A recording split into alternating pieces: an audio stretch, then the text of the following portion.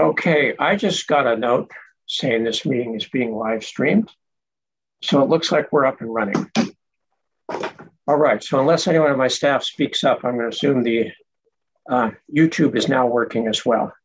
So again, for those on the YouTube who did not hear before, uh, my name is Alan Lilly. I'm the presiding hearing officer of the State Water Resources Control Board's Administrative Hearings Office, and I will be presiding over today's pre-hearing conference.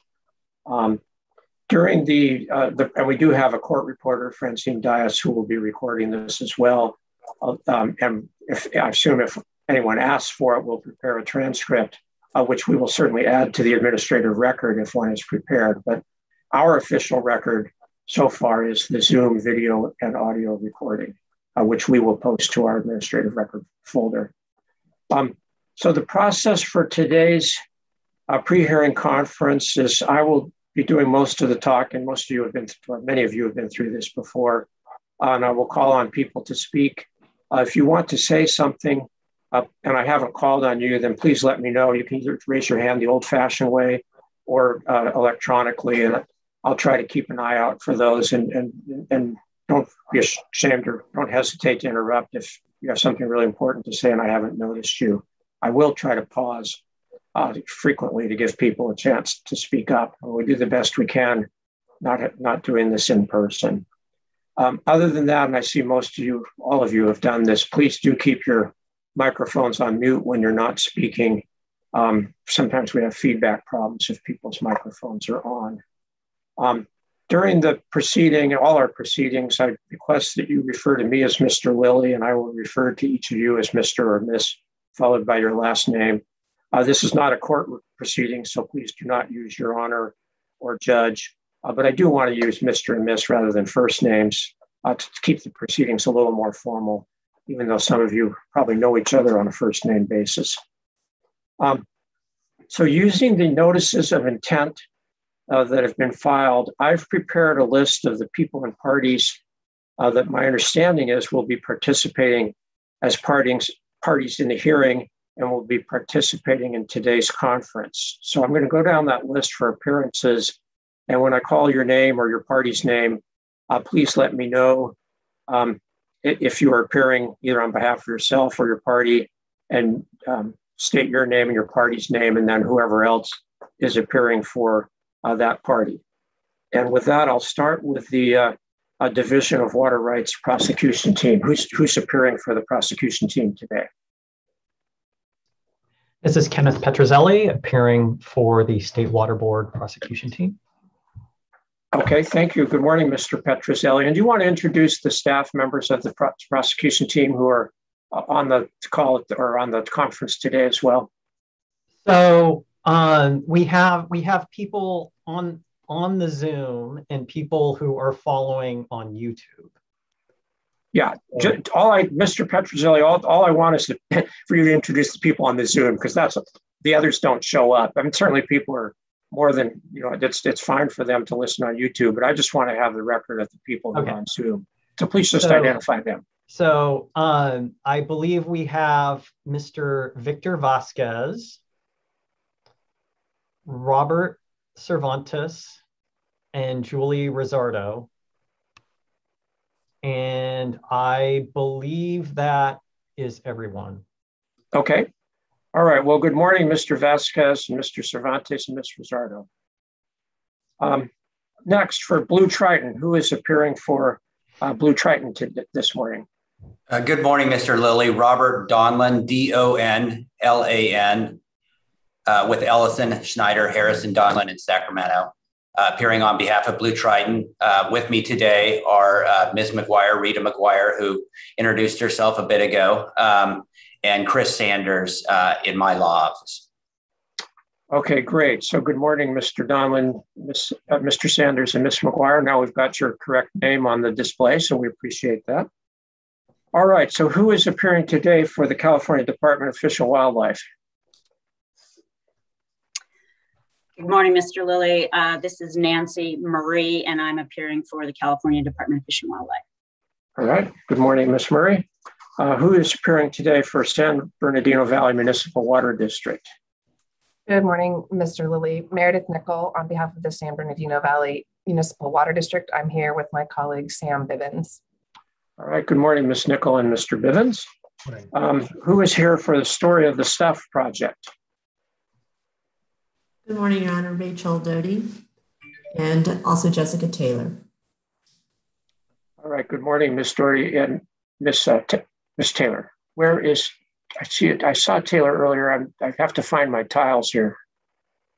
I'm right here. Oh, there she is. All right, there you are. Yes. Good morning, Miss Taylor. Sorry, I, Good morning. still learning. It's a little harder than in person, but I think we saved everyone a lot of driving and flying time today. All right, who is here for the Southern California Native Freshwater Fauna Working Group? We had a notice of intent filed by Steve Lowe, uh, but I do not see him here. Uh, so if, if he appears later, that'll be fine. But right now, I'll just note he is not appearing. And then for the Sierra Club, Mr. Silver, can you go off mute, please? Still have to go off mute.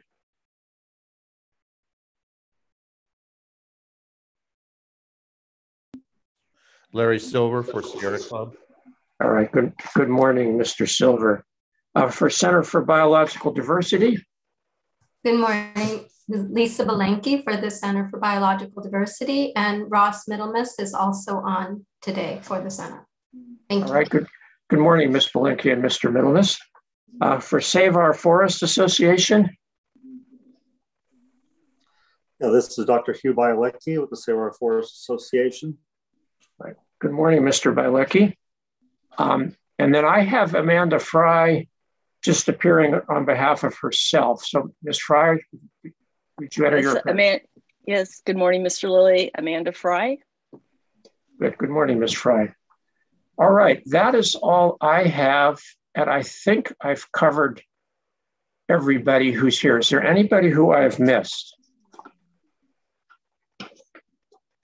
All right, well, thank you all very much for, for filing your notices of intent to appear and, and for those of you who did the optional uh, pre-hearing conference statements.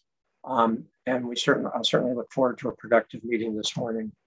Um, I just want to state I, I have received notices of intent to appear from the following people and entities, and their no- NOI stated they just plan to submit policy statements and not to participate in the hearing as parties. So uh, some of them may be listening on YouTube, which is fine, and, and they certainly can file uh, um, policy statements whether or not they're on YouTube. And those are California Water Association, Northern California Water Association, Association of California Water Agencies, League of Women Voters in the San Bernardino area, Marianne Dickinson, and Henry Fry. And I see we do have a new person here, um, Steve. Steve, we have Steve's iPad. Can you go off mute and tell us who you are? If, if it'll let you go off mute.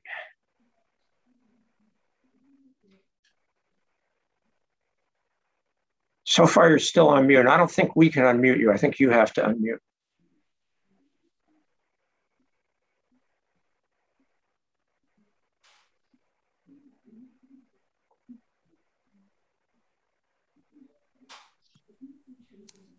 Now, There can you you hear me? Yes. So are, are you Yes, Steve Mr. Lowe. Lowe? Yes, I am. All right. Good morning, Mr. Lowe. Um, and we, my staff has put your name in the display. And I, I just wanted to clarify, you filed one NOI on behalf of yourself and another one on behalf of the Southern California Native Freshwater Fauna Working Group. But do you intend to appear individually or just on behalf of the working group? No, I, I intend to appear individually.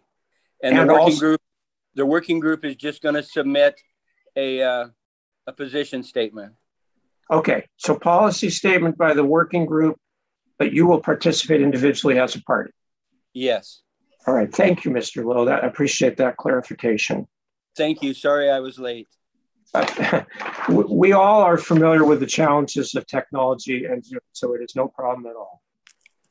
All right, so, and then just so everyone knows, uh, we have received about 25 letters and emails uh, from other people uh, that make general arguments about the hearing. Um, we are treating all of those letters and emails as policy statements, and we will continue to do that as more come in. Um, we have put them all, the electronic files of all of them, in a folder in the administrative record titled Policy Statements. Um, uh, so hopefully we've got them all, and we will continue to add them there. So they will be available for any of you uh, to download and review if you want to. Uh, and then finally, we received an email from an attorney for the United States Department of Agriculture Forest Service asking that he and two members of the staff of the San Bernardino National Forest be included in the service list, even though they do not tend to participate as parties. And, and we certainly will do that. Our notice says we will do that. So, our updated, just to clarify, our updated service list will have all of you who filed NOIs, uh, the people who filed NOIs for policy statements, and then the three people from the uh, representatives of the Forest Service who've asked to be on the mailing list. So, before I go forward, I'm going to take a moment to get a, a sip of water. Does anybody have any questions or comments about the parties and, uh, who are participating on the updated service list? All right, hearing none, we will go forward. Um, one of the things I would like to emphasize, and I, I, think you've all followed this very well, so this is certainly not a criticism, uh, but ex parte communications, um, for those of you who didn't study Latin in school or law school, it means basically in this context, a communication between one of you and either me or somebody in my office where the other parties are not present. Um, and we try to completely avoid those. And I think with email, it's pretty easy to avoid those.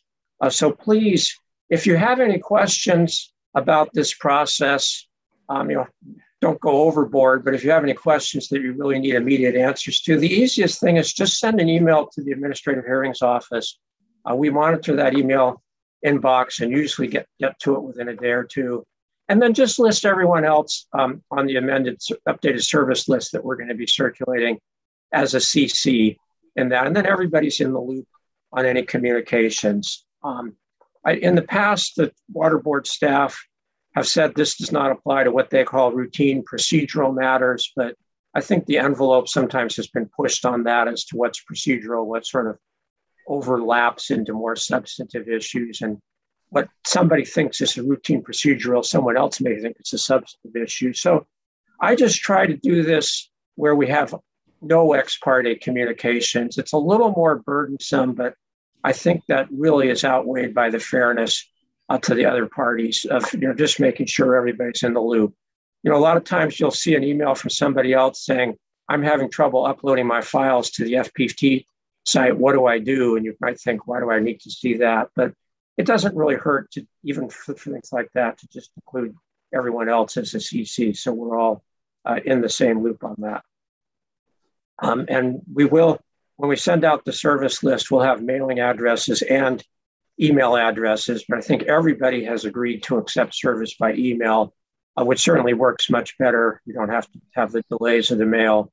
Um, and of course, it's much easier uh, to include everyone as a CC. So let's just try to make sure to do that all the time. And we will continue to update the service list as necessary. Um, one other thing, some, I don't know whether it'll be an issue in this hearing, but sometimes it is. Um, there, this in no way limits your ability to talk to each other. Um, and, and sometimes that can be very useful, even if it's simple things like, hey, I didn't get a copy of that exhibit. Can you send it to me? or more complicated things like, hey, let's talk settlement of these three issues. Um, and please feel free to have those communications anytime you want with anybody else, any other parties to the proceeding, but just do not include my office um, or the Division of Water Rights as a CC on those communications. Certainly you can talk to the Division of Water Rights prosecution team, but don't include anyone else at the State Water Board um, as either a CC or any way in the loop on those communications. If, if there's a signed settlement agreement, we'd like to see it, but anything up to that, we really don't do not want to be involved. So, any questions or comments on communications before we move forward? All right, thank you. Um, so I'll go forward to the pre-hearing conference. Uh, the July 8th um, notice of pre-hearing conference and public hearing uh, stated that the pre-hearing conference will address the following issues. I'm going to just read them, although I guess you all are pretty familiar with them, but I will read them anyway. Number one, should the hearing officer amend any of the hearing issues listed in the notice or add any additional hearing issues? Uh, number two, should the hearing officer change any of the deadlines for submitting exhibits and testimony or the hearing dates listed in the notice or make any other changes to the hearing schedule? Number three, should the hearing officer set a deadline for submission of rebuttal evidence and require parties to submit written proposed rebuttal testimony and rebuttal exhibits before the hearing? Number four, what time limit should the hearing officer set for oral policy statements and oral summaries of written statements, for the parties' opening statements, for oral summaries of witnesses' testimony, for cross examination and rebuttal testimony? And then number five, are there any other procedural issues regarding the hearing that any of the participants would like to raise? If so, what are those issues? Now, um, we did receive uh, pre-hearing conference statements from three parties, uh, the Division of Water Rights prosecution team, uh, BlueTriton, and Story of Stuff. Did anybody else file a pre-hearing conference statement? And again, don't, don't be embarrassed if you did not. They were optional, but I just want to make sure I have them all. Did anyone else file a pre-hearing conference statement? all right, hearing none. Um, I think I've got them. So I'm going to start with uh, Mr. Petruzzelli and the prosecution team's pre-hearing conference statement. Um, and I'm going to go through some of the major issues that I thought were raised in your statement and, and what my responses or thoughts are, and then you can um, speak up and add comments as appropriate. Um, one of your, your comments was, should the parties have to file paper copies of exhibits with the Administrative Hearings Office? Um, the way the notice is set up, parties can upload electronic files of all their exhibits to our FTP folder. Uh, we have a folder for uploads, and then we move them over uh, to the folder where they're publicly available to any interested party, frankly, any member of the public who's signed up who can download them. Um, we have historically, and this notice requires two paper copies of each exhibit be filed with the AHO uh, because we do use them. Wait, Mr. Lowe, you have to go off mute. You have to go on mute, please. There you go. Um, so we have required that uh, the, uh, Mr. Petruzzelli's conference statement says, do we really have to do that? Can, to paraphrase, can we just have them all be uh, done electronically? And Mr. Petruzzelli, I, I certainly understand the burden you're talking about. And uh, something I've done for um, a recent hearing, which may make sense here, is not to require paper copies of the longer exhibits, anything over 100 pages, uh, but still to require you to file uh, paper copies of, with the AHO, two paper copies of each exhibit for the exhibits that are less than 100 pages. The longer ones will rely on the electronic files, but the shorter ones, I really would like to get the paper copies. So I'll just ask you if you have any comments on that. And then when I go around later, to everyone else, I can ask them for comments as well. So, Mr. Petruzzelli, what are your thoughts on that? So, um, I mean, even I, I believe that you know, even require limiting uh, paper copies to those um, not exceeding 100 pages, it's it's still a fair a fairly large production because there are a lot of exhibits. Um, that we anticipate. And it's still likely, um, in all likelihood, what um, EPA's reproduction department would consider um, a significant, um, you know, reproduction job. They've they've notified they they notify us that they expect about a one week lead time so to assemble the exhibits and binders, we would need about 10 days lead time. So it basically cuts down the timeline that we have for um, preparing exhibits, preparing testimony by about 10 days. So to the extent, so even though as much as I believe paper requiring paper copies is severely outdated, the board did without it in uh, the WaterFix hearing Um, if the board can do without it in WaterFix, I believe we can certainly do without it here. Um, regardless, to the extent you ask for paper copies, um, I'd like about a perhaps a 10 day extension for the paper cop, just for the paper copies. Okay. Um, another thing is that, you know, there, other than um, as an alternative to the 100 pages, you know, there may be, you know, certain types of exhibits or submissions that you would want printed rather than basing it on page limits.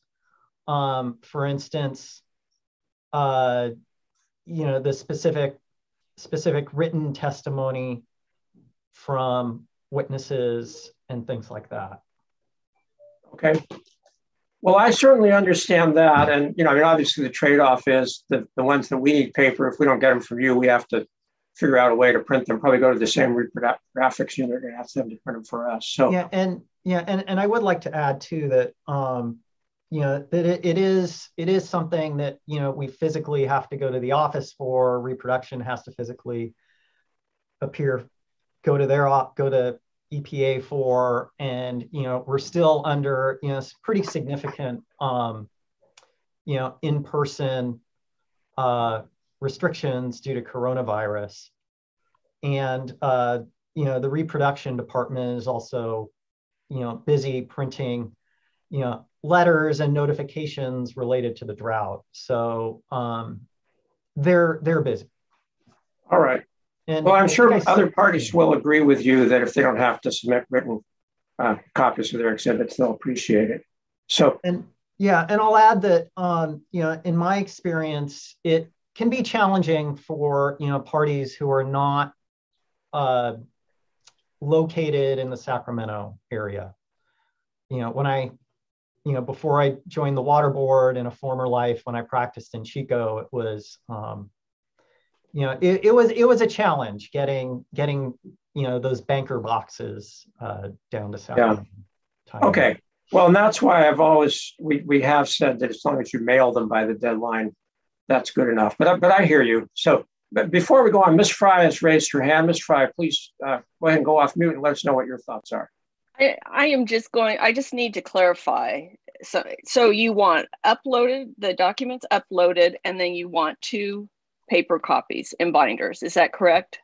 That is what the notice says. Upload so you don't have to serve them. You know, I, am going to sound old here, but back in the old days, um, we had to mail paper copies to everybody. Um, and of course, we've significantly reduced that burden because now we upload them and post them. So for all the parties, it's all done electronically. So, uh, Ms. Fry, the way the notice states is it's all electronically, except we've asked for two paper copies uh, be mailed to the administrative hearings office for our use. Uh, but I will discuss this with my staff. I, I mean, I, you know, I, Mr. Petruzzelli raises a valid point, not just for himself, of course, but for all of you.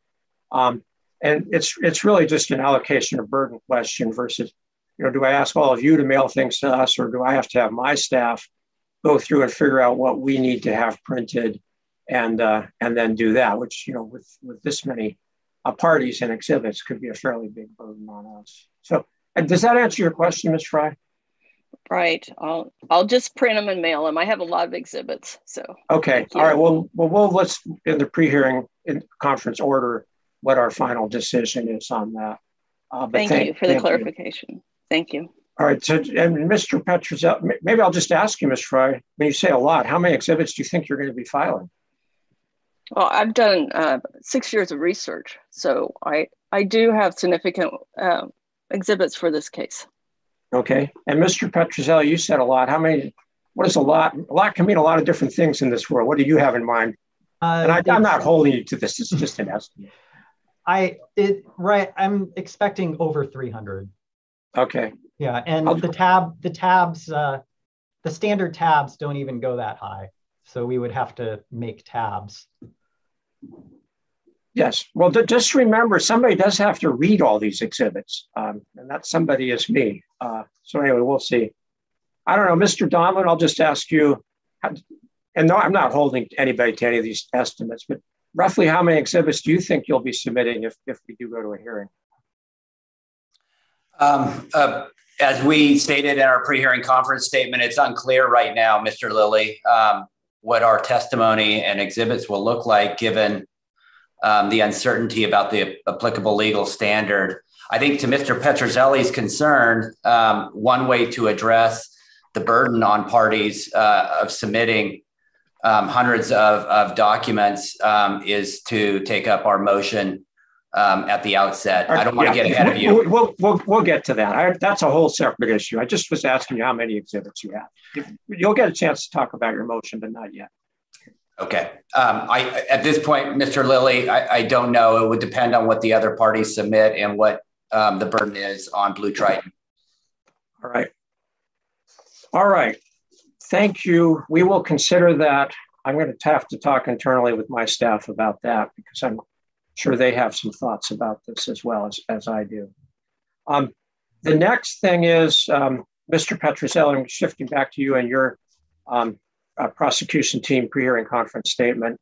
Um, you said you wanted the parties to be able to file amended NOIs and potentially list additional witnesses if the AHO adds new hearing issues, and, and that obviously makes sense. Uh, we will address that in our pre-hearing conference order. We're, we're, you know, we want to get to the truth here, and we want all relevant evidence, you know, within reason. So, if new issues mean you have you or any other party wants to call additional witnesses, I mean, obviously we will allow that. Um, your next question was timing of rebuttal testimony. Uh, we have had some hearings where the parties have agreed um, to have an initial round of filing of their proposed written testimony and then to file the proposed rebuttal testimony before the hearing begins. Um, so that's why I raised that issue in the um, notice of pre-hearing conference and hearing. But I, I, people, I know the prosecution team has objected to that, and I think others may have concerns as well. So I'll just say that my plan right now is we will have um, the proposed written testimony for the hearing. We will hold the hearing, and then we will have an additional round, you know, with deadlines and hearing dates for the uh, proposed uh, testimony for rebuttal, um, and and and then the actual hearing on rebuttal. This, of course, Mr. Donlan, all is assuming we go forward with the hearing, and I understand you've raised that issue. Um, the next question I have for you, Mr. Petruzzelli, and Mr. Murray may want to weigh in on this as well. Uh, your pre-hearing conference statement says, says states that uh, you may want to call a Department of And Wildlife witness to testify regarding public trust issues and possible mitigation measures. Um, and what I am wondering is, I don't think the draft cease and desist order that your office prepared and served on BlueTriton and for which BlueTriton has asked for a hearing uh, raises any public trust issues and I'm concerned about the statutory framework that my office operates under because when a hearing on a draft CDO and a water right matter is requested, that automatically goes to our office for hearing. But the hearing is limited to the issues in the draft CDO. Uh, so, do you have any comments on whether or not um, my office, I mean, I guess we can hold a hearing on anything, but whether our proposed order could address public trust issues if they are not addressed in the draft CDO. So, so the, the draft cease and desist order, one of one of the um, one of the one of the proposed findings was that there currently was not at this time adequate information that uh, the division enforcement staff believed supported findings of public trust violations but there is currently information being developed and the state water board has an independent duty to make those evaluations. The proposed order, in addition to a cease and desist order, also would require, um, would include an in, what I'll call an information order component issued under Water Code Section 1051. Um, as currently proposed, it would, it, it requests additional information about the nature of uh, the spring diversions. But what we would like to do is uh, request additional information necessary to make public trust determinations. So we aren't solely relying on um, studies that uh, the respondent is doing for the Forest Service. And that authority is certainly within the water board's, uh, that is certainly within the water board's authority under 1051. Okay, so I'm, I don't, do, do you happen to have a copy of the draft CDO handy? I'm looking at what looks like to be page 11. I, I again, I'm not cross-examining here. I just want to try to understand what you're saying. Um, but I do see a paragraph seven on page 11, which says it is further hereby ordered uh, that um, the, the diverter or any successor in interest um, basically complete studies or within 180 days after completing the studies required by the Forest Service, um, SUP AMP, submit a report more precisely determining the flows. Is that is that I'm not sure that concerns public trust. Maybe I'm not reading the right part. Tell me which part of the order concerns the public trust information.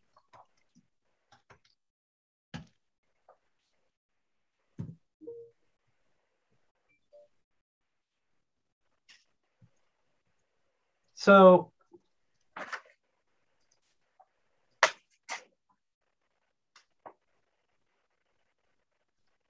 So the order did not, um, but it did not because, as is noted in the report of investigation that was attached to the order, the proposed order, and was incorporated by reference, it noted that at the time, staff did not believe there was adequate information to make those determinations. So if you believe that as presented up to now, there is an inadequate basis to make that request. Um, we can live with that. If public trust violations are added as an issue, we would certainly like an opportunity to present um, the DFW witness who is noted on our notice of intent to appear um, to provide testimony on those issues. Okay. It's it's really not a question of what I would like. It's really a question of what the my office has the legal authority to address. Um, so I'll tell you what, and, and, I, you know, I don't want to put you on the spot here, but um, I'm, I'm, jumping ahead. When we get to Mr. Donlan's motion to dismiss, um, I'm going to propose we have a briefing schedule, including the prosecution team submitting a response to that.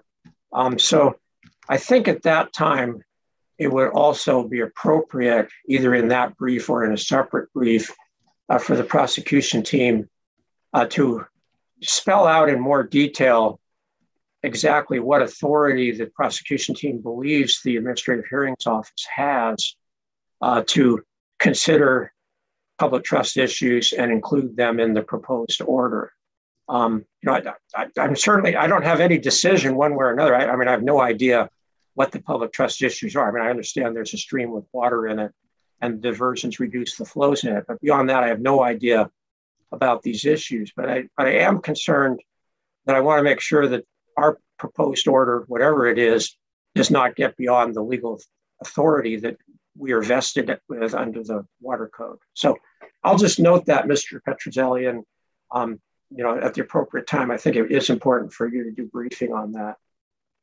Um, and before I go on to the rest of your um, issues raised by your pre-hearing conference statement, I'll just ask Ms. Murray I, th- I think Cal Fission, what, since he's implicated your department's witnesses here, I would just ask you if you have any comments on this issue.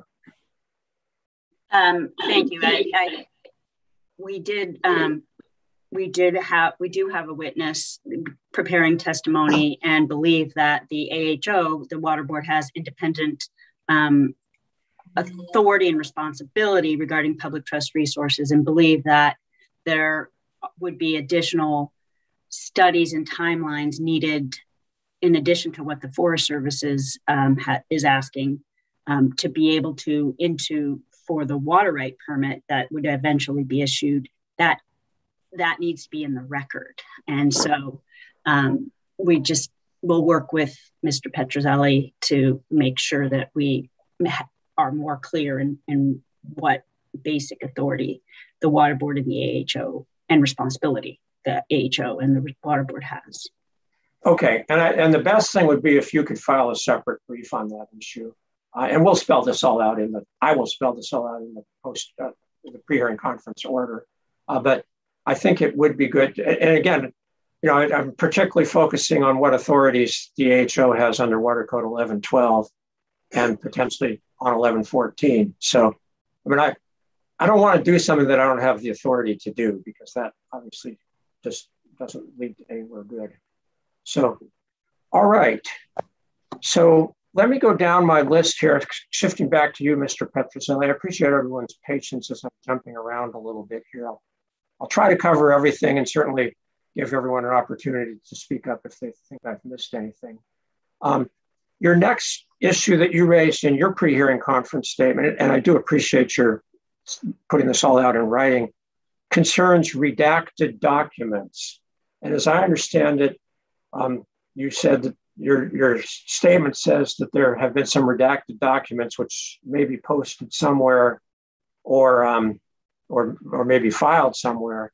And I, I guess my question is what exactly is going on here? What, what are the re- redacted documents? What are the redactions? And how do you propose going forward? And, and I'll just say, I, it, I don't think it really does much good for you to send things to me in camera. I mean, number one, I'm very nervous about receiving information that no other party has. That really looks like an ex parte communication to me. Uh, but beyond that, I, I don't think I can do anything with it. I mean, if it's confidential and I can't base a finding on it, there's not much point in my reading it to begin with. So I may be missing something here, but tell me what the story is with redacted documents and what you are proposing. So the redactions fall into two categories. Um, to my to my recollection, some of the well logs include uh, what is what you would consider personal identifying information. Um, some of the other submissions from the respondent included in content that they asserted constituted trade secrets. So that content was redacted in the documents that were posted to the website in association with the report of investigation. My my interest is to be sure you have everything and to have that to have that full record available in the event um, a party contests or takes issue with that redacted content. We provide, it is not unusual that we provide um, documents separately, especially if it has some kind of personal identifying information or um, financial information. And what I was contemplating was a similar submission protocol. Okay. Uh, so just while we're on this, uh, Mr. Donlan, just on this, and I, I fully understand right now your position is we don't need a hearing at all. So, and we'll get to that. But assuming we go forward with a hearing, what is your position on what Mr. Petruzzelli said about redacted documents? Um, well, I'm, I'm going to ask uh, my colleague, uh, Rita Maguire, who I think is more familiar with particular documents than I am, to, to weigh in as well, Mr. Lilly. Um, I think we need to understand the relevance of those documents and whether there remains concerns um, about the redacted material. Um, I'll let Rita uh, expand on that. Okay, Mr. Maguire, please go ahead. Thank you, Mr. Lilly. Uh, the information that Mr. Petruzzelli is referring to was submitted to the board a number of years ago in the early stages of the investigation. Uh, they, I, I, think what we, BlueTriton would prefer to do is have the opportunity to review any documents that may have redacted information to determine whether or not it, it remains necessary to uh, continue that redaction. They were done in a slightly different context, but they did deal with uh, trade secrets, and frankly, the safety of the personnel uh, in Strawberry Canyon. Okay. I, I'll just say, I, I mean, I obviously haven't seen any of the docs. I, the only reason this is going to be an issue is if they have relevant information. Um, and, and that may or may not be the case. Uh, but what I'm going to put in the order as best I can, not knowing the documents, is I'm going to direct the prosecution team to work with BlueTriton, confer, just as you have proposed, Ms. Maguire, to determine if if their docs, if they're redacted documents where Mr. Petruzzelli and his colleagues think the redacted information is relevant to the hearing, then I they should confer with BlueTriton to see whether BlueTriton continues to assert that um, redactions are necessary and the information should not go into the record. And hopefully you can work things out.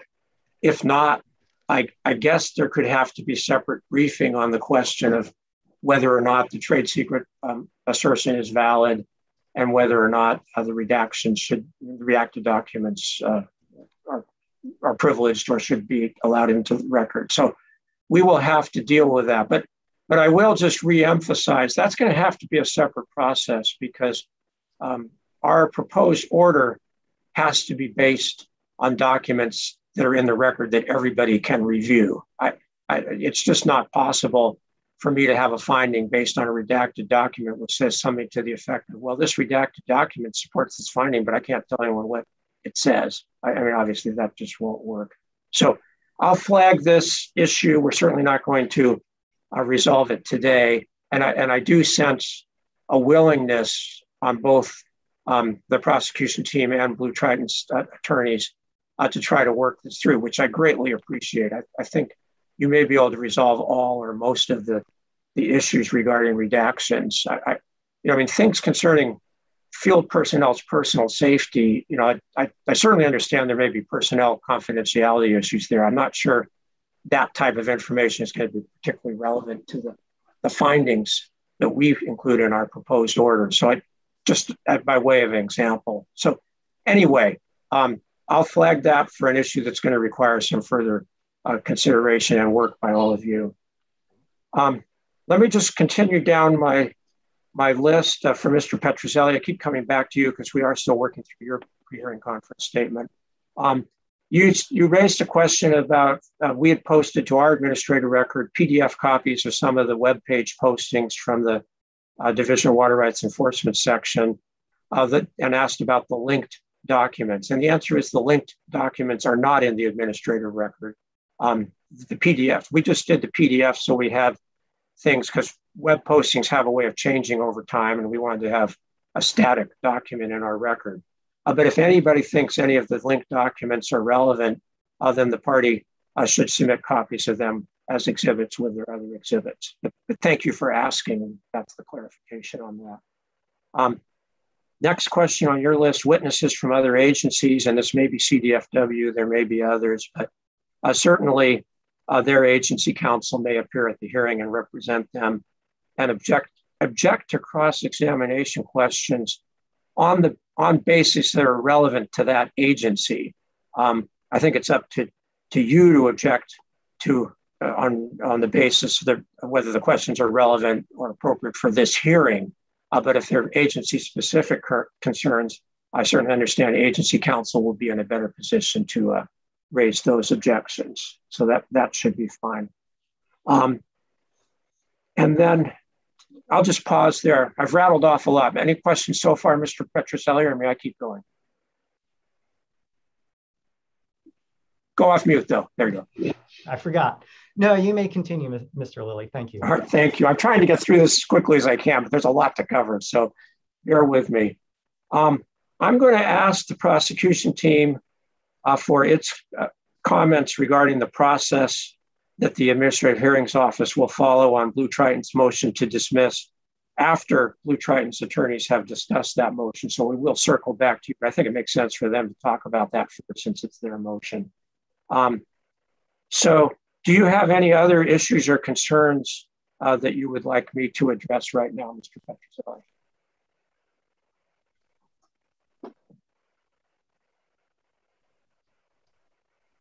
I'm checking my notes to see if there's anything. All right, and you can certainly come back later. It's this is informal.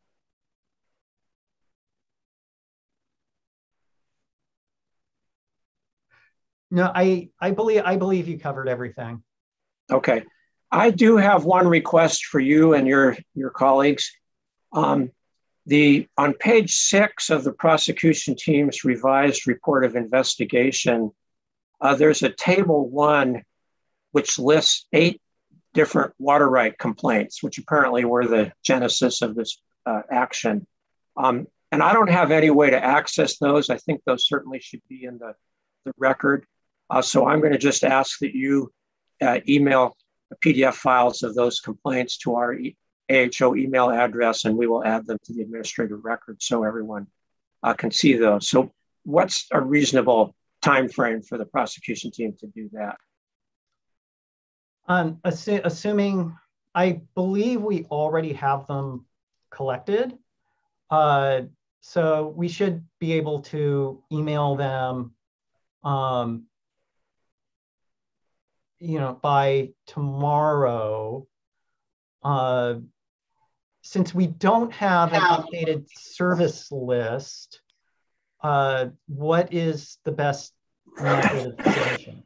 That's good. I'm glad you're respecting what I said earlier about expedited communication. So the answer is you can wait. You might as well be assembling them now, but you can wait to transmit them until um, we have sent out our post our, our pre-hearing conference order, which will have the updated service list. And uh, and those- I, I, was going to say you didn't need to serve them on anyone because we're going to post them to the uh, our FTP folder, but it's better to CC it. So why don't you do it that way? And and we were certainly planning to include those with our exhibit package. Yeah. So, okay. Well, go ahead. So if your preference is to wait is to wait until then, uh, we could do that too. I think I'd like to have them now because they really are background documents. You can certainly submit them as exhibits as well, but I'd like to put them in the record now. But I will give you some reasonable time after we issue our order for, to submit those. So hopefully that won't be a big burden. All right. So I'm going to now shift over to Mr. Donlan and, and Mr. Sanders as appropriate and Ms. Maguire uh, regarding BlueTriton's pre-hearing conference statement.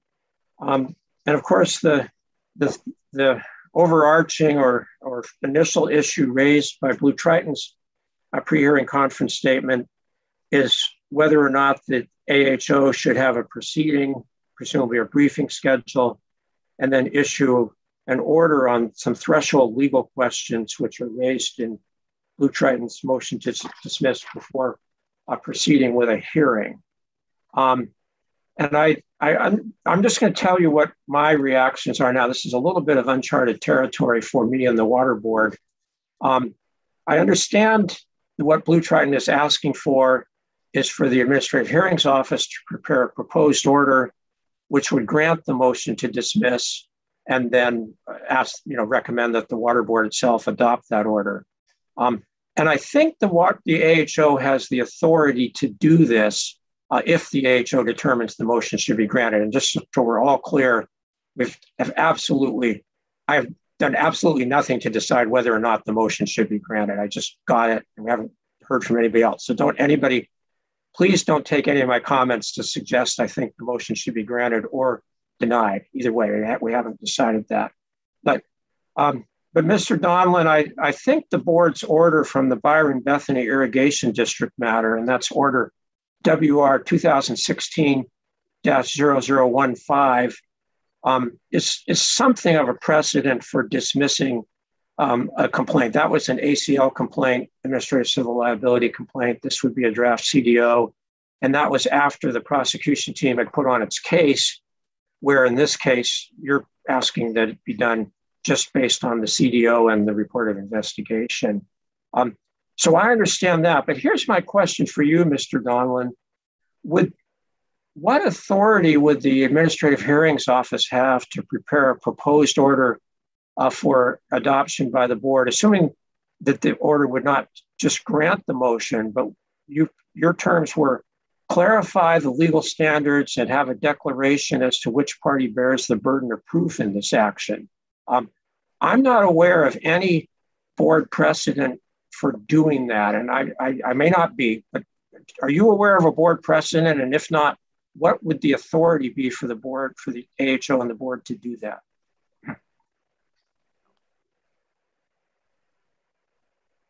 And you have to go off mute before you start talking. I think the authority in the first instance um, uh, concerns the scope of the, the draft cease and desist order and the request for a hearing that, that BlueTriton made. Um, as, as you noted earlier in your discussion with uh, Mr. Petruzzelli, um, the draft cease and desist order is quite narrow. Um, it alleges a, a violation of Water Code Section 1831 D1 and 1052A um, which is an unauthorized diversion and use of water under the division. Uh, the, the net effect of that is that the, the board is alleging um, that the water uh, collected by BlueTriton is subject to the State Water Board's permitting authority under Section uh, 1200 of the Water Code. Um, our motion to dismiss it, it tees up all of the legal issues associated with that classification of source water issue. Um, and we think um, that it's necessary to resolve uh, that issue um, before you can uh, uh, logically and, and, and um, in an orderly fashion proceed with uh, evidentiary hearings. Um, the draft cease and desist order proposes what we believe to be a novel theory of law for state board jurisdiction. We believe another standard applies the evidentiary burdens, the presumptions, all of the legal standards um, applicable uh, to BlueTriton's view and also to the state uh, prosecution view uh, depends on uh, determination of those threshold legal issues. Uh, we believe it would be quite chaotic for the hearing office to have um, hearings uh, accepting the state's legal position at the same time that you're conducting proceedings um, asking BlueTriton. And, and for example, M- Mr. Lilly, um, uh, the, the, the state, um, and it's well established under uh, several state board orders, um, including one cited in our motion, has the burden of proving um, that uh, groundwater is not percolating. That's just black letter law. Um, the state uh, prosecution's draft cease and desist order instead proposes to shift the burden to BlueTriton to establish that this uh, that the water that they collect is not developed water or is developed water and puts the burden on on BlueTriton. Uh, the evidentiary cases needed to establish the state's position or to establish BlueTriton's position uh, depend entirely on some of those threshold legal issues. So we think that the, the legal standard um, embodies the, um, the burden of proof and the presumptions um, embedded in California water law. Um, and that in deciding um, our motion, uh, the state water board and, and hearing office first would necessarily need to decide who bears the burden of proof. Whether you need to issue an express finding um, if you determine, for example, that these source waters are classified as, as percolating groundwater. I, I, I'm not aware of any authority that says that you need to make that uh, additional finding. Um, I think it's embedded in in the, the, the state board's determination of what the proper legal standard is. All right. Well, Mr. Donlan, I don't think you've answered my question. Um, I understand your arguments. You've you set them out in your motion to dismiss very clearly and, and very well briefed, I might add. I, I found it very easy to follow. But my question is Is there any precedent for the board to make eh, to adopt an order on threshold burden of proof type issues before holding a hearing on the rest of the, the matter. I mean, I, I'll, I'll just be candid. I have never, I'm not aware of any board order where the board has ever done what you were proposing. Well, we precisely th- we we think, um, as I just explained, that the burden of proof and the presumptions are embedded um, in the the subject matter of the motion, uh, which is what is the proper legal legal standard applicable to the the source waters at issue here.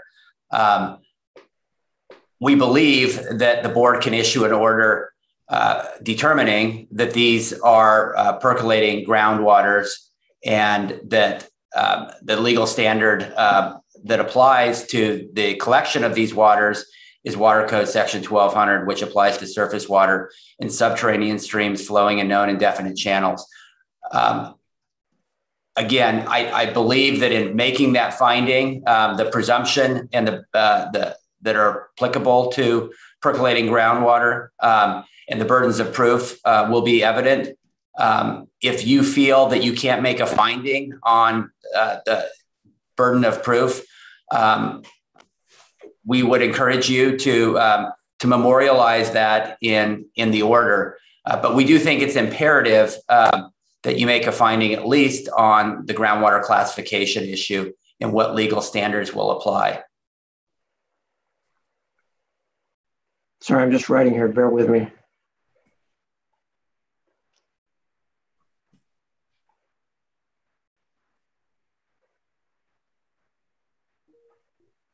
I mean, I, I guess, so basically, Mr. Don, are you proposing that the, that the AHO make a finding on the groundwater classification issue based on the papers before holding a hearing and then send that proposed order to the board for its consideration? Is that what you're proposing? That's correct, Mr. Lilly. Okay. And I, will just say it one more time. I, am not I'm not aware of any precedent where the board has ever done that.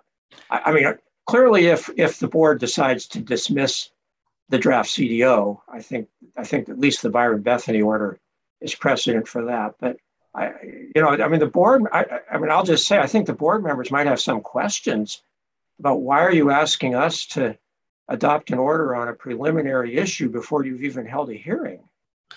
Mr. Lilly, I, I don't believe this is a preliminary issue. I think it's a threshold issue. Um, again, as, as we stated, um, and when you asked what type of or amount of evidence we plan on on submitting, we don't know what case we have to make based on the draft CDO as it was presented to us.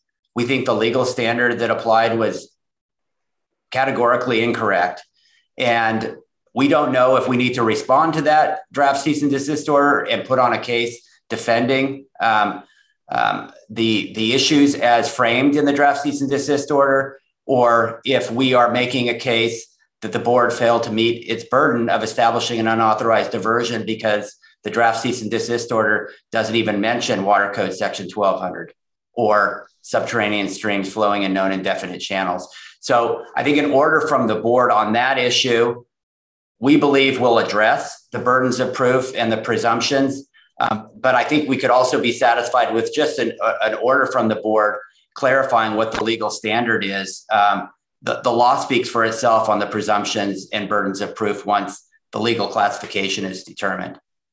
But we think that order is necessary. Otherwise, you are going to be getting at least two different cases presented to you. It sounds like the state and some of the parties also believe that public trust issues are, are relevant to this proceeding.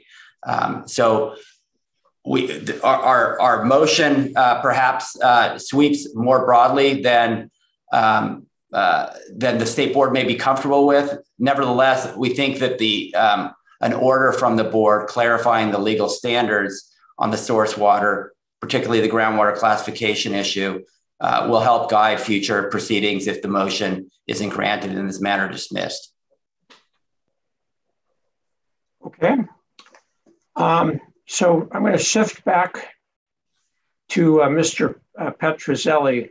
Um, the BlueTriton's pre-hearing conference statement has a proposed uh, briefing schedule, which I'm just going to check here. Make sure I have it right. On page seven, it's um, basically responses to the motion to dismiss, which can either be in support or in opposition, would be due on August 31st. Replies would be due on September 14th. And then it goes on for oral argument and uh, AHO proposed order and so forth. Um, let me just tell you what I, and this, please everyone else listen too. I'm, I'm directing my questions to Mr. Petruzzelli, but um, others may want to file a briefing as well. Um, my, I, I, do think that BlueTriton's motion raises some significant and substantial legal issues that need to be addressed before at least considered, addressed, I'll say, addressed by the parties and considered by the hearing officer. I've, I have no idea how we're going to come out on this, but I think we need to do that before we have the hearing. Uh, so I am going to, in the order, set deadlines for all other parties to file what I will call answer briefs. And those can either be in opposition to the motion or in support of the motion. And then a, a subsequent date for reply briefs, which will be just by BlueTriton and by the prosecution team if if there are, are, answer briefs that support BlueTriton's motion, then I think the prosecution team should have a right to uh, respond to those. So we'll have two deadlines, one for answer briefs and one for reply briefs. And with that, I'll just ask you, Mr. Petruzzelli, Petruzzelli to start with. Uh, do you have any comments on the proposed briefing schedule in BlueTriton's pre-hearing conference statement? So what the proposed briefing schedule leaves out is what happens after the board would issue an order solely on their motion to dismiss. Because what they're asking for is uh, what would eventually constitute a final board order under Water Code section 1122 and 1126. They could file a petition for reconsideration on that issue, on that order. They could file a petition for writ of mandate and take it to court and delay reaching the, uh, e even if their motion to dismiss, even if you deny their motion to dismiss, um, again, they could file a petition for reconsideration, they could file a petition for writ of mandate, and they could tie it up in court for years. And it would be years before we reach the merits of the case. We can address those permitting authority issues in, within the hearing issues that are outlined within the hearing notice. If you want to address them separately, I would strongly di discourage the AHO from doing it in a manner that would result in an order issued under uh, 1114 because of those potential delays. If, as in BBID, um, you know, after our case in chief, you believe our case is so similarly defective that it merits dismissal, that is a matter we could address when we get there. Okay. Sorry, I'm just writing here. Bear with me. These are all important comments, so I want to write them down. Um, I'll add that, you know, from a chaos perspective and an uncertainty perspective, um, you know, this isn't civil procedure. We don't have specific uh, code sections, rules, and a body of decisional law for demurrers and failure to state a claim upon which relief can be granted. So, you know, we don't have that set of rules and context with which to evaluate their motion, what they've characterized as a motion to dismiss we don't necessarily know what it is or how to respond to it or what the decisional standard should be. And one of the things we had to argue about in BBID was what the parties were requesting. Okay. well, um, that's well documented in the briefing in that in that board decision. Okay. Yeah, and I I have not seen that, but but I do I, I did think of your concerns about delays too. If there's some interim order uh, that is, is adopted by the board, presumably, uh, then there could be judicial review, which could, I mean, we all know, could take several years to go through a trial court and appellate court proceeding. Um, and that, that could be a problem. So, so Mr. Petruzzelli, I'm going to come back and ask you this, my question again. Um, I, I think these are, are good points you were making. Again, no idea how I'm going to come out on them. But I do think it's important for you to prepare a written brief uh, that responds uh, to BlueTriton's motion to dismiss. Both, both on the merits, I assume you disagree with their arguments. Sounds like you disagree with their arguments on the legal classification of the groundwater or the water. Um, you probably disagree with some of their arguments on burden of proof. And then you're also raising what I think are some important procedural concerns. So I, I need to have you put those all into a brief and file it and um, and of course serve it on the parties so we we can go forward and I have legal arguments to evaluate and resolve. Um, so what is is August 31 a reasonable deadline for that? And are we briefing the motion to dismiss or the schedule or whether we're considering the motion to dismiss? Your, your brief would be a response to the BlueTriton motion to dismiss. Okay. What, what, and, and that's not only responding to the arguments and issues they've raised, but raising any additional points you think are, are relevant that are raised by the motion. I will get to you, Ms. Doherty. I do see your hand, so bear with me. But I want to wrap up here Petruzzelli on this point, Mr. Petruzzelli first on this point. So yes, it's response to their motion to dismiss, including whatever additional arguments you think are appropriate.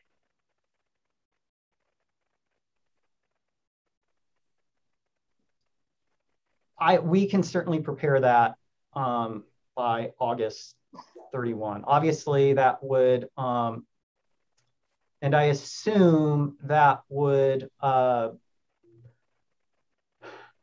change the other deadlines that are currently in the hearing notice. yes. Yeah. I, you know, um, because if there's going to be a round of reply briefing, and then sometime for my office, my colleagues and I to prepare an order, uh, we are going to have to delay the current deadline for filing exhibits, which I think is August 31st, and the current uh, hearing schedule. Um, I, uh, I'll talk about what I have in mind for that in a minute. But yes, I, we, we can't. We need to get this these issues at least heard, briefed, and and addressed. I don't know whether we'll resolve them or not, but at least addressed before we go forward with the hearing. So I'm sorry. Go ahead, Mr. Petruzzelli. Actually, I think 30 days would be would be better for us. Okay, so that would be circa. Tell how old I am. I still have a paper calendar. So today's August 11th. So 30 days would be September 10. Um, so either September 10 or September 13, depending on whether or not you want to work on the weekend. I, you know, that I'd rather you have more time and and brief these things thoroughly, not necessarily longer, but I'd rather have good briefing than have you rush to that. So we'll potentially look at September 10 as a deadline for that. So that we'll come back. On, do you have anything else on that point, Mr. Petruzzelli? We're going to circle around on other points. Yes, because it it's it, it always helps to have like the written briefing order when doing briefing. So um, even though this might be an early question, when would you anticipate having the pre-hearing con- issuing the pre-hearing conference issue that lays out the briefing instructions on this motion to dismiss? Uh, fair, fair enough. Um, I mean, it's a fair enough question. I, I'm going to do my darndest to get it out by this Friday because I mean, it, it, it's pretty much going to say what I just said, but, it, but you're right. It's good to have the order in front of you so you know what you're having to address. So, all right. So, Miss Do- it's Doughty. Is that how you pronounce it? Doughty, yes. All right. So, Miss Doughty, you had your hand up and you've been patiently waiting. What are your comments now? Did on this point, um, the there was some question I guess we could perhaps call it the jurisdictional briefing because there was some question about your authority to entertain public trust arguments, which we would very much like for you to do. So, in the interest of efficiency, can we brief that simultaneous with the other um, jurisdictional authority issues? Yes, I was going to include that in the order, but yes, absolutely. I'd like to get briefing on all of these pre hearing issues in as soon as we can so that then I can prepare whatever kind of order is appropriate uh, going forward. So, yes, and and that's wouldn't be that would be for any party who wants to, and and we haven't gotten there yet, but uh, there have also been some issues raised in some of the papers regarding waste and unreasonable use and administrative civil liability and penalties. So that that would be the deadline for filing briefings on those issues as well. And, and the basic, I mean, I'll just tell you, the basic question is, does the Administrative Hearings Office in this proceeding have the authority to consider those and to address them in the proposed order or orders it sends to the Water Board? But, yeah, that was a long way of saying yes to your question. Thank you. All right.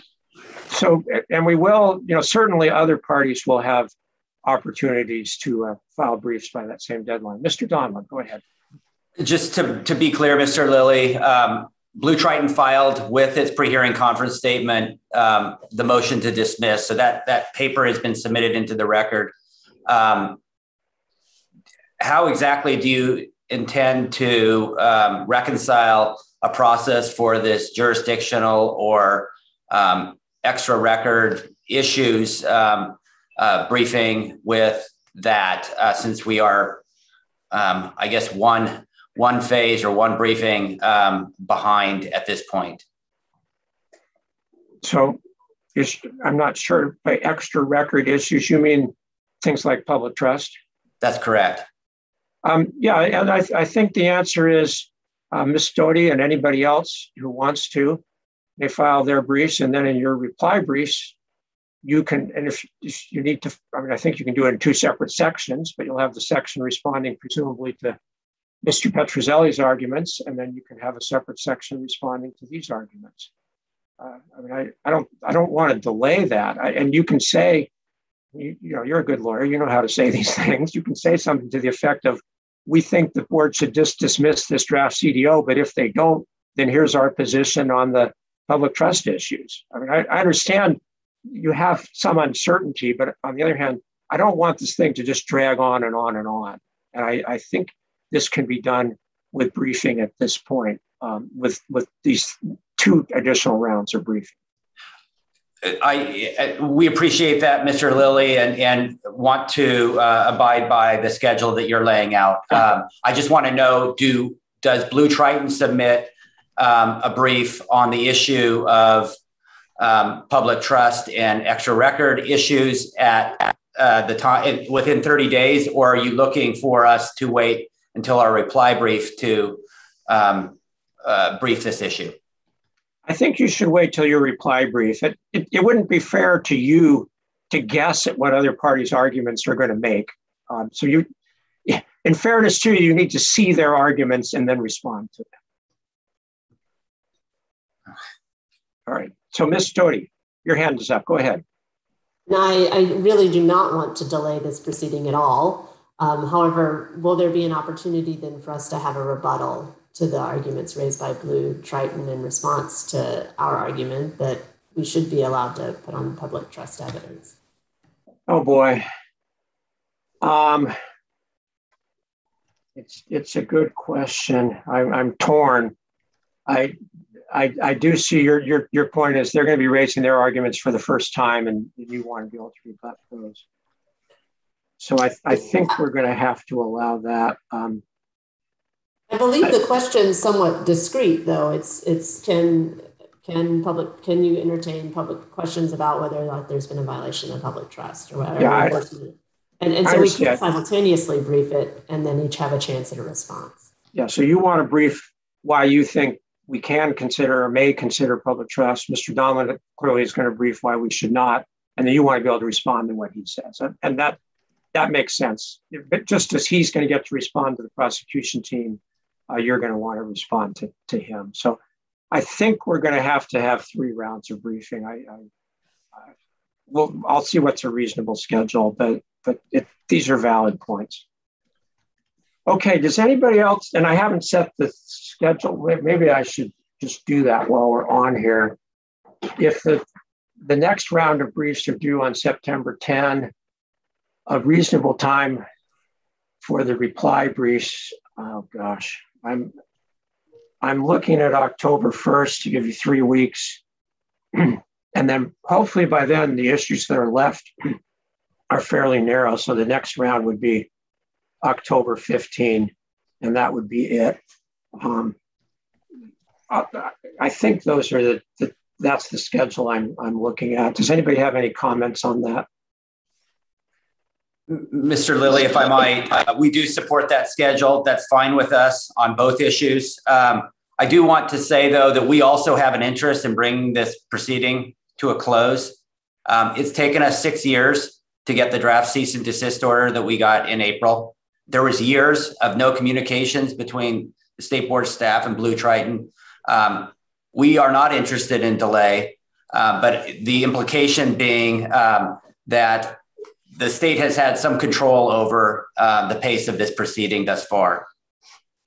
I, you know, uh, that's fine. And, and you know, I, I'm not going to get into assigning blame. Uh, that I'm sure we go around in circles and not get anywhere on that. Um, I'll just say the bottom line from my point of view is when I took this job, which was just less than two years ago, I met with all five board members individually to find out what their thoughts were. And the one message that came forward from all of them independently was you've got to move the water right process forward. Things are taking too long. Um, so those are my marching orders to the people I report to. Uh, we now have a new board member, but I'm sure she has the same view as, as her, her predecessor. Um, so that's why I want to keep things moving forward. I probably would want to anyway, but just so you know, I have clear directions to move things forward uh, from the decision makers here. So if it seems sometimes like I'm pushing, that's why. All right, so that covers a lot of this. I will look forward to your briefing, and and frankly, I'll just say even if um, even if the, the, the motion to dismiss is denied, um, and, and we go forward with a hearing, um, this briefing of these issues, I think, will be very helpful. In effect, they're, they can be somewhat like opening uh, trial briefs because um, I think they're going to help define the issues, maybe not resolve them, but at least spell out the parties' arguments on the issues. So, Ms. Fry, your hand is up. You've been waiting now patiently. Yes, I just want to know if, um, if since I'm not an attorney, if I can submit a, um, brief too. Absolutely. Okay. And and if you want to get advice, if you have an attorney or local legal clinic or something that can help you, that's fine. If you want to talk to the other attorneys for the other parties in this proceeding, don't have my office involved, but you can do that. But the answer is yes, you may file a brief. Thank you. I'm probably going to have to put some page limits on these so that they don't get out of hand, um, but I will think about that. All right, Miss Nikkel, your hand is up. Go ahead. You are an attorney, so tell us what your concerns are. Thank you. And I just want to clarify um, the, the briefing schedule. Um, I understand now that on September 11th, there will be um, briefs submitted on issues that may go beyond the motion to dismiss that was brought by BlueTriton. I think I understand them to be public trust, but you also mentioned um, waste and unreasonable use, as well as um, uh, you know the possibility of an ACL. And so for the reply deadline on October 1st, originally I think I heard you to say that that would just be for BlueTriton and for um, the prosecution team to respond. But with these new issues now coming in on September 11th, would it make sense for that October 1st reply deadline to be for all parties who may have something to respond to in the September 11th briefs? I'm trying yes. to simple, but I just wanted to clarify that. No, that's a good point. And just to clarify, the deadline September 10, the 11th is a Saturday. So oh, sorry, thank you. I never know whether I do attorneys a favor or not to make a deadline on a Friday rather than a Monday, but at least then you don't have to spend all weekend working on it. I, I used to be there, I know. But yes, Miss Nikkel, that's that's a valid point. Right. Um, you know, I cringe at the thought of how much paper, and you're not, none of you are going to file these in paper, so I have to print it all too. But I'm joking. But then I do have to read it all and work with my colleagues to get through this. So it may take us a little while to sort through it. But on, on the other hand, I'd like to give everyone full opportunity to make their legal arguments uh, so we can sort them out and figure out where to go forward. And these are these are very important issues, and we have to determine what the best way is to address them uh, before we decide whether we're going forward with a hearing and so forth. All right, so does anybody else have any other comments on this rough briefing schedule and concept? And obviously, we will spell it out in more detail in our order. Um, Mr. Lilly, that that that was my my question. Um, I not to quibble with uh, Ms. Uh, Nichols' framing of the issue, but I I understood uh, the question about the applicability or the relevance of public trust and reasonable use and ACLs in this proceeding to be whether the hearing office has jurisdiction um, to consider those, not um, arguments on the merits of those those issues. That is certainly what I want to hear about.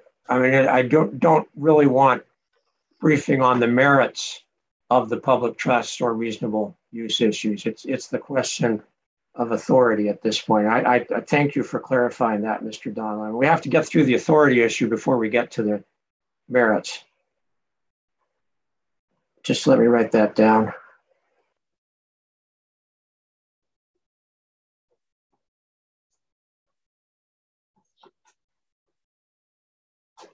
Complicated. This is why water cases take so long. All right. So I think we've taken care of that. Um, certainly, we will be issuing an order uh, trying to spell all this out with a schedule as well as we can.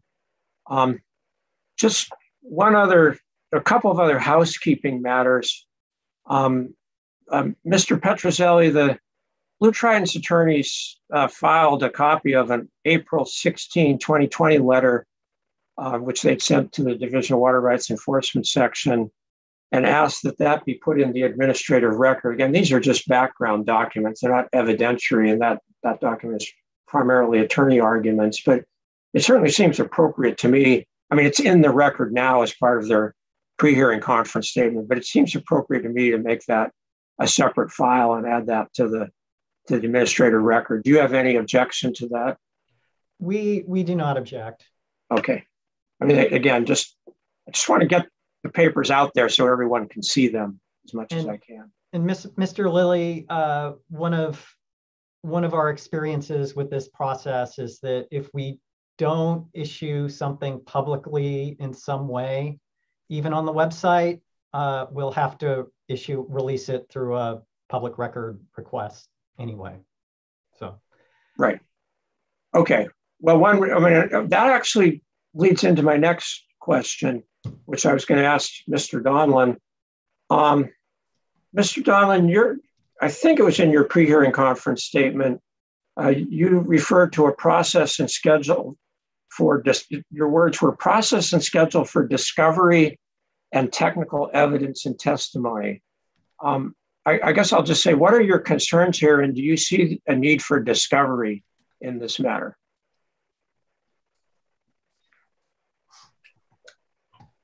Um, again, Mr. Lilly, um, I think it's it's highly likely that we will have a need for discovery. Um, uh, depending on um, the disposition of our motion. Um, um, the state has not developed independent science in support of its position. It's relied on um, information uh, that it's been able to uh, glean from filings by BlueTriton and other parties. Um, if we're going to have expert uh, witnesses testify in a hearing as to the technical issues, um, I think we at least need to contemplate the possibility that we will need some discovery in advance of, the, of those proceedings. Um, as we framed it in our, our pre-hearing conference statement, these, uh, these would be subsequent evidentiary hearings um, once we have some clarity uh, from the motion to dismiss and the briefing on, on that issue. Okay, well, I understand what you're saying. Um, normally, parties don't do discovery in water board proceedings, primarily because the, parties have to submit all the written testimony, the written proposed testimony in advance. So that pretty much lays out what the witness is going to talk to. And we're we're usually quite rigorous about holding witnesses to summarizing their written proposed testimony and not allowing them to go into other subjects. But but there certainly are some provisions in the water code that provide for discovery. Um, and if the parties want to avail themselves of those provisions, they can. And of course, the parties receiving the discovery can respond as they deem appropriate. So uh, I will leave that out there. I, I will just say that um, I'm not going to allow discovery to delay this process. Um, and so at some point, Mr. Donlan, you may have to consider starting discovery before you have a ruling from this office on the issues we've been talking about today. And that's that's really akin to in a civil proceeding, there may be a pending motion for summary judgment that may dispose of all or most of the issues in the case. And yet often you have to do discovery before the court has resolved that motion uh, just so you can meet the trial schedule. So I will try to set that out uh, in the order as well. If you're talking about expert witness discovery through depositions, normally those can be done fairly quickly. It's not a, and presumably the expert witness is prepared if, if he or she has prepared written proposed testimony. But um, I just want to make it clear I'm, I'm not going to be interested in delaying the hearing to allow a long period of discovery, but subject to that, uh, certainly you have whatever rights you have under the water code and the reference other statutes to do discovery. So anything further you want to say on that, or does that cover that for now? No, thank you, Mr. Lilly. All right, so I'm going to go over to the story of stuff uh, pre-hearing conference statement. I'm, I'm trying to remember who is our attorney for story of stuff. That should be Miss Doughty, I believe.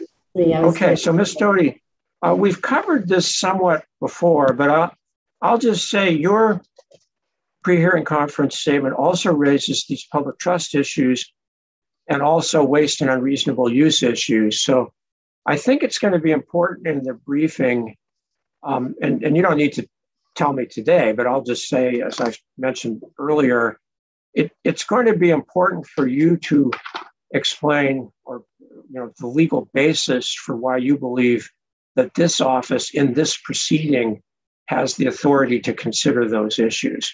And again, I, you don't need to get into the merits of the issues. That's a whole separate story. But just the called jurisdictional, threshold jurisdictional issue.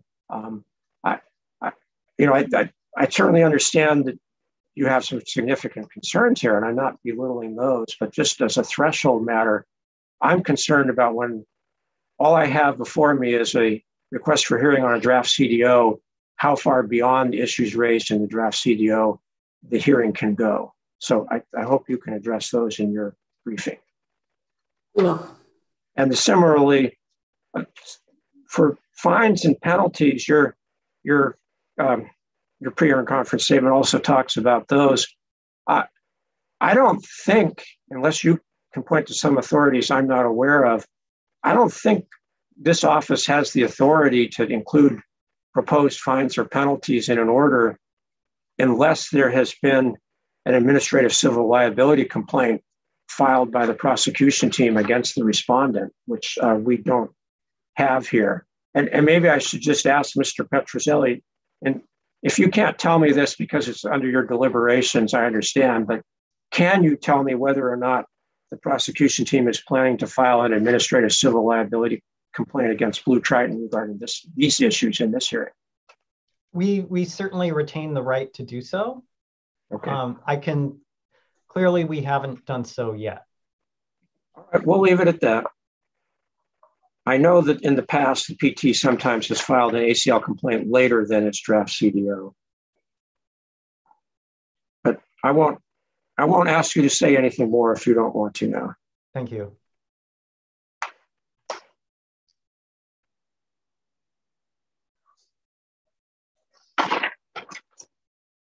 I guess I would say if you're planning to do that, the sooner the better, because otherwise it's going to delay the hearing schedule. But I'll just leave it at that. Um, okay, and Ms. Doughty, you're you're um, just to cover the issues here. You're your pre-hearing conference statement also talked about priorities of municipal supply. So again, that's the type of issue I think you should raise in your briefing. The arguments in your brief should include whether or not the Administrative Hearings Office has the authority to consider that in this proceeding. Um, and I think your just the last question, you talked about um, documents that have previously been filed with the Division of Water Rights Enforcement section. And just so we're clear, uh, we have a literal wall. They're in a totally different building uh, than we are. We're both in downtown Sacramento, but in totally different buildings between the Division of Water Rights Enforcement section and my office uh, and the, the Water Board's Office of Enforcement. And I have no way to access their files.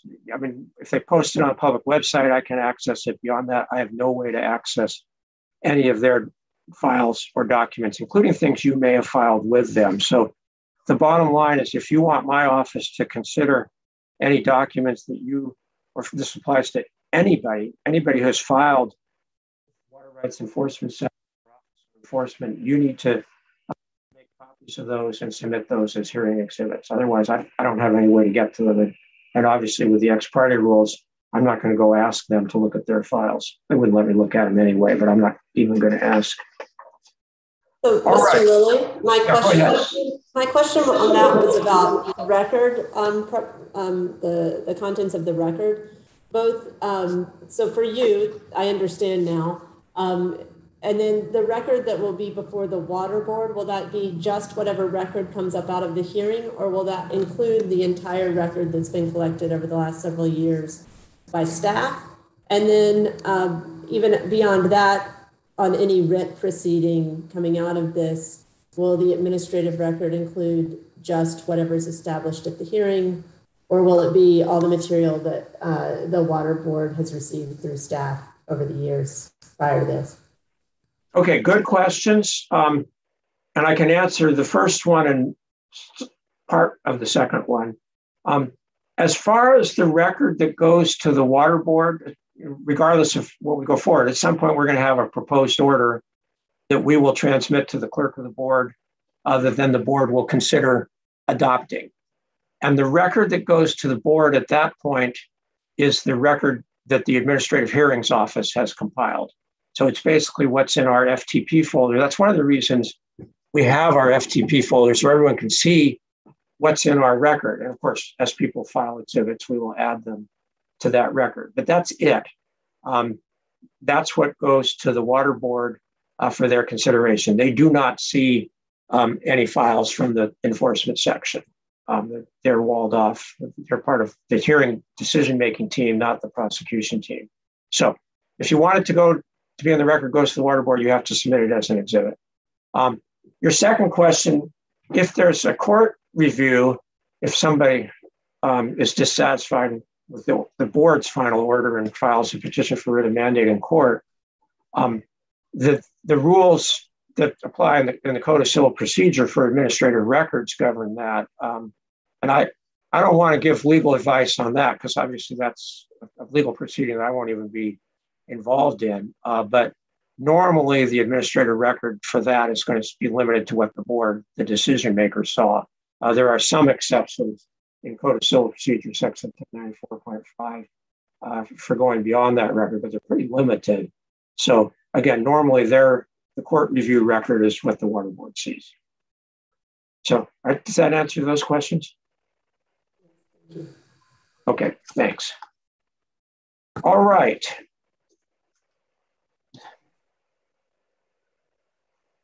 Thank you all for your patience as we go down this. Um, I'm we've we've covered a lot. Um, we've had some people speak up. Rather than go down the list of all the other parties, I'm going to just ask: Does anyone else have any comments, questions, or anything else that they would like to say at this time regarding anything we've covered today? If so, you can raise your hand or um, speak up. Okay, good, or not good, whatever. Hear, hearing none, we'll move on. Um, I do want to say that um, if we do proceed to a hearing, I would like to conduct a site visit.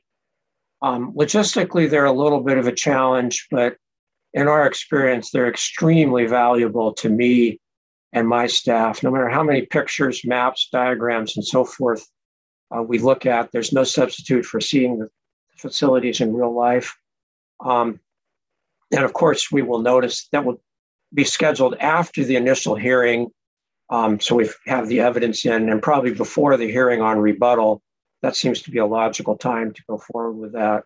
Uh, we will issue a notice, and uh, to the extent logistics allow, which I hope they will, uh, any interested party may participate. Um, we we sometimes have a little challenge on exactly what administrative record we can make when we're out in the field. Um, we do have a GoPro video audio camera and can do some. Obviously, it's a little harder. We can't just get everything down if everybody's talking, uh, but but we'll work through that. Uh, so I guess my question, I'll start with maybe I'll start with you, either Mr. Donlan or Ms. Maguire. If we have a site visit, is there any particular season that you think is good or bad for a site visit? Ms. Maguire, I'll ask you to handle that one. I think you've been out there. Uh, Mr. Lilly, I think year round, of course, if there's any rainfall, you know, runoff events, whatnot, make the canyon particularly difficult to get to. But a couple of observations. One, um, the Strawberry Canyon spring sites are in the San Bernardino National Forest. Under our adaptive management plan and our permit requirements, we have to work out the logistics of any uh, site visits with the Forest Service. Uh, in addition, there are no roads. We typically helicopter in. It's a, a very uh, deep canyon, difficult terrain, so it's not easily reached. Having said that, we've accommodated many site visits, including members of the uh, Division of Water Rights staff. So we're happy to accommodate you. It'll just take a little planning. Okay. And if, if we can't, if there's some limit to the number of people who can participate, we'll try to get representatives of the different groups to participate and go forward. Um, I did notice from one of the field reports about an encounter with a rattlesnake. So uh, obviously we'll be careful of those. We don't want any bites. Um, so Ms. Doughty, did you have a question or comment on that? Um, so, so I would ask just Mr. Loe to be able to be included in that. He's a witness for us and also appearing in his own right, and was a biologist on the Forest Service for several decades on this district, and so is familiar and probably should weigh in as to the the best timing. And it's oh. you know it's several different wells. Some of them you can in fact walk to because I've walked to to one of them. Um, diversion points um, some of them are very remote and most easily accessed by helicopter. So he could perhaps help with those logistics. Okay, Mr. Loe, would you like to weigh in with that glowing recommendation? And just go off mute if you can figure out how.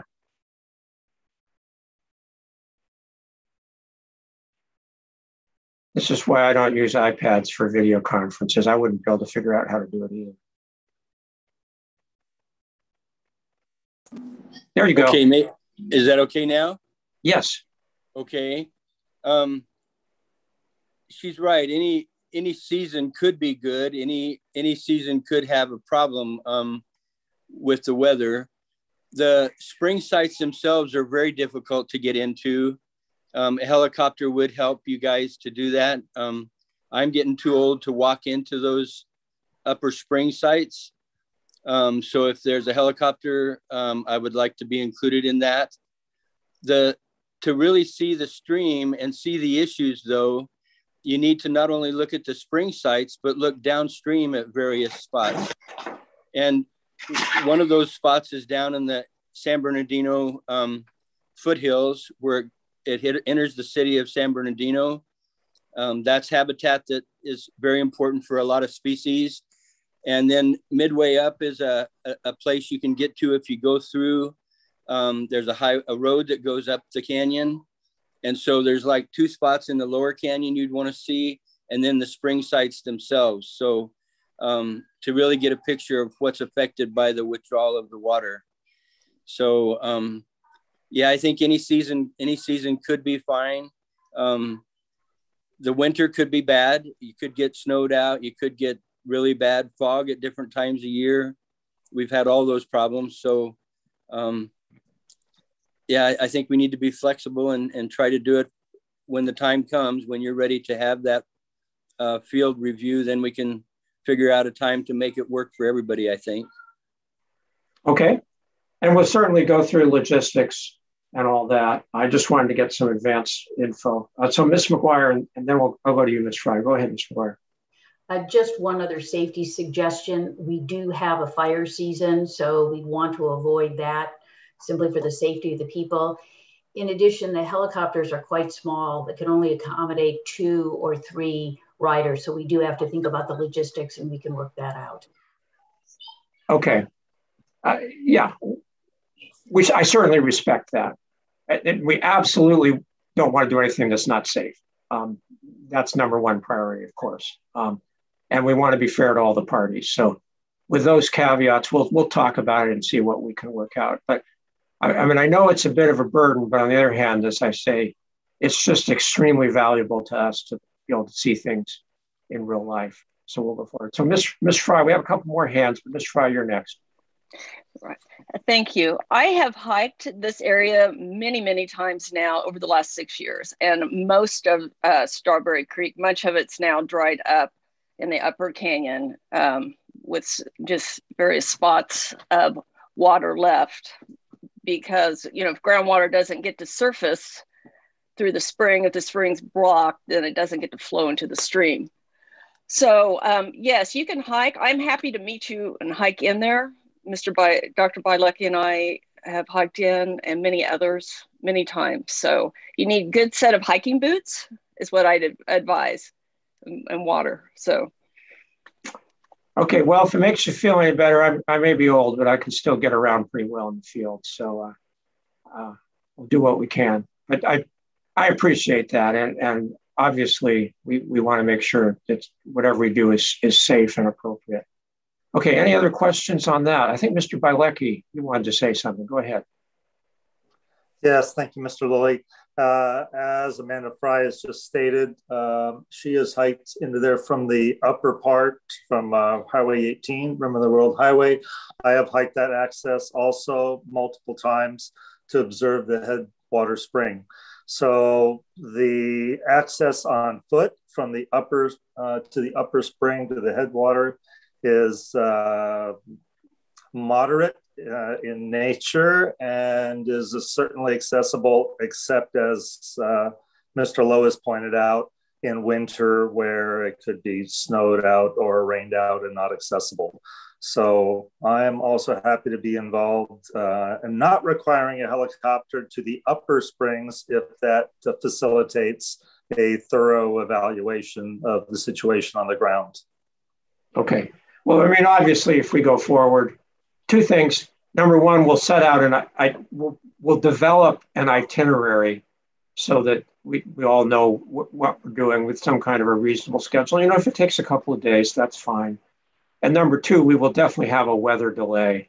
I mean, there's no point in going out there in the middle of a storm um, for a variety of reasons. So um, we, we will do that. But I think with a little bit of flexibility and cooperation, we ought to be able to uh, work out something that is quite useful. Okay, anything else on the site visit? Any other hands? All right. Okay, so is there just before, I think we're about ready to wrap up. Is there anything else anybody would like to cover today on, on any issues regarding this hearing that I've missed? All right, hearing none, we'll we'll move forward. Um, first of all, thank you all very much. Um, I really appreciate your uh, professional presentations, uh, both your written filings and your, your presentations and demeanors today. I mean, it just, it makes life a lot easier for me when everyone behaves professionally. And obviously all of you are qualified and experienced. And, and I just want to say thank you very much for that. Um, my plan is to prepare a pre-hearing conference order which we will post on our website, send to everyone on the AHO virus general e- email list, and send by email to each of you on the updated service list. Um, we definitely will postpone the August 31 deadline for filing exhibits and the September 21 23 hearing dates, so those are off.